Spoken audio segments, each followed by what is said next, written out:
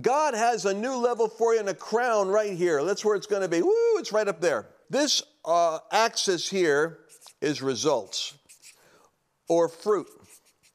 This axis over here is time.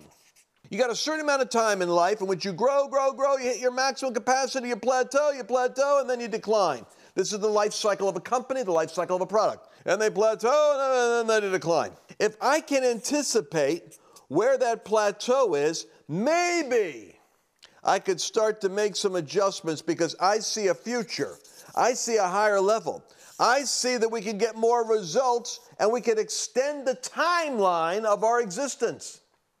As a company, as a church, we don't have to plateau with old people and then decline and then nobody's coming to church, they all died out and we sell it to, you know, make it a CVS. No, no, we can start to make some adjustments on, on the plateau.